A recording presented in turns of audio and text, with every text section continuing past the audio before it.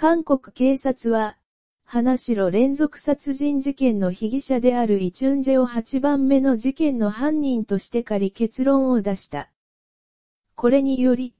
8番目の事件の犯人として検挙され20年間収監されたユン防止は、冤罪だった可能性がより高くなった。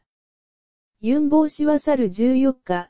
水原地裁に再審請求を行った。京畿南部警察庁のパンギス捜査本部長は15日午前、京畿南部庁で行った6時ブリーフィングで、この事件の被疑者が当時、被害者パクさんを性暴行し殺害した後、パクさんのそばにあった、新しい下着をもう一度着せたとの陳述をしたと明かした。警察は、イチュンジェが犯行後、パクさんの下着を前後逆に着せたという部分も事実関係を明白にしたと説明。パク本部長は、被疑者が、あえて逆に着せたとの陳述はしなかったとし、新しい下着を着せたと話し、当時パクさんが、もともと着用していた下着は破棄したと陳述したと明かした。